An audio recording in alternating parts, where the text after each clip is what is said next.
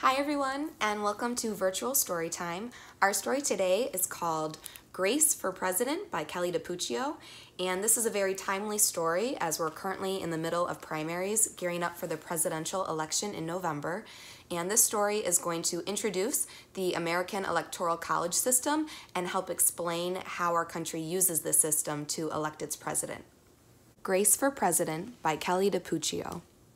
One Monday morning in September, Mrs. Barrington rolled out a big poster with all of the president's pictures on it. Grace Campbell could not believe her eyes. Where are the girls? That is a very good question, said Mrs. Barrington. The truth is, our country has never had a woman president. No girl president? Ever? Grace asked. No, I'm afraid not, said Mrs. Barrington.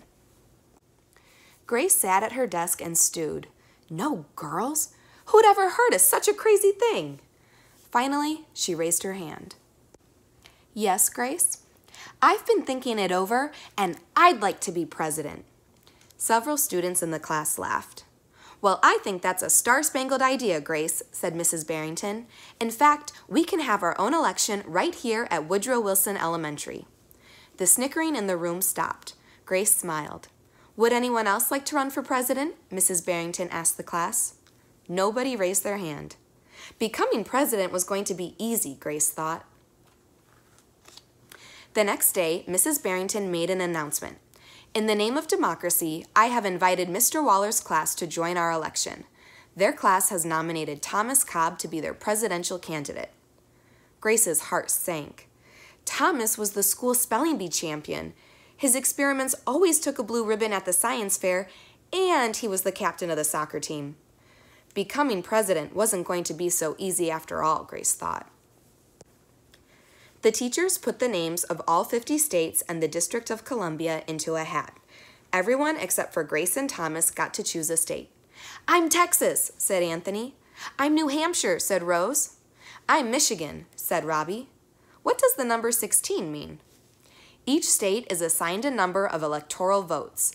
That number is determined by how many people live in that state, said Mrs. Barrington. Each of you will be a representative for your state.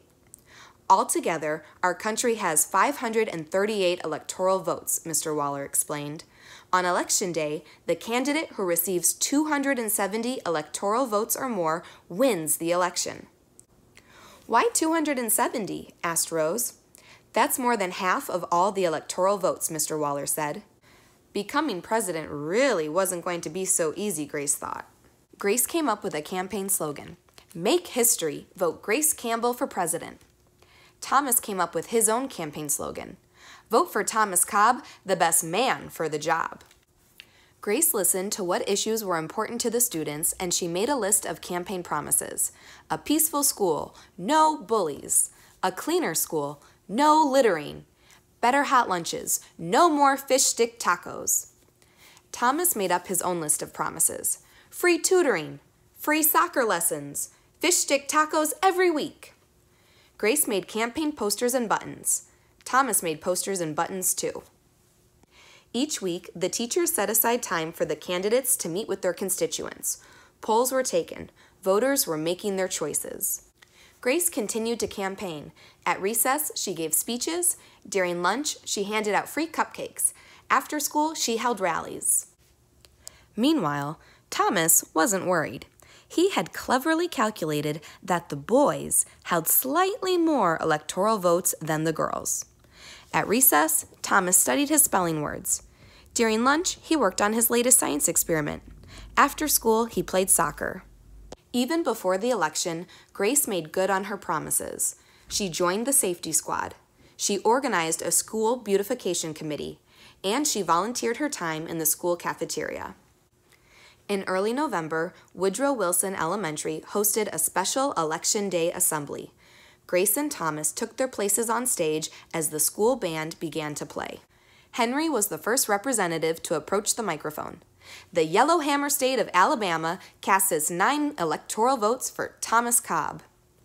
Fletcher said, the last frontier state of Alaska casts its three electoral votes for the best man for the job, Thomas Cobb. Hannah called out, the Grand Canyon state of Arizona casts its 11 electoral votes for Grace Campbell. The voting demonstration was quickly coming to an end. Clara approached the podium. The Badger state of Wisconsin casts its 10 votes for my best friend, Grace Campbell. Grace looked at the scoreboard. Thomas had 268 electoral votes. She had 267. There was only one state still unaccounted for. Wyoming. Thomas grinned. Grace felt sick. Sam walked up to the microphone. He looked at Thomas. He looked at Grace. He looked down at Grace's handmade flag. Sam didn't say a word. What are you waiting for? Thomas whispered. The band stopped playing. All eyes were on Wyoming. Finally, Sam cleared his throat. the equality state of Wyoming casts its three electoral votes for Grace Campbell. The gymnasium erupted in loud cheers and a few boos. Mrs. Barrington approached the podium. With 270 electoral votes, the winner is Grace Campbell. Thomas looked stunned. Grace hugged Sam. Why did you do it? she asked. Sam handed Grace his flag. Because, he said, I thought you were the best person for the job. The following week, students in Mrs. Barrington's class were preparing for their career day presentations. Grace volunteered to go first. She stood at the front of the room and glanced at the poster still hanging on the wall. My name is Grace Campbell, and when I grow up, I'm going to be the President of the United States.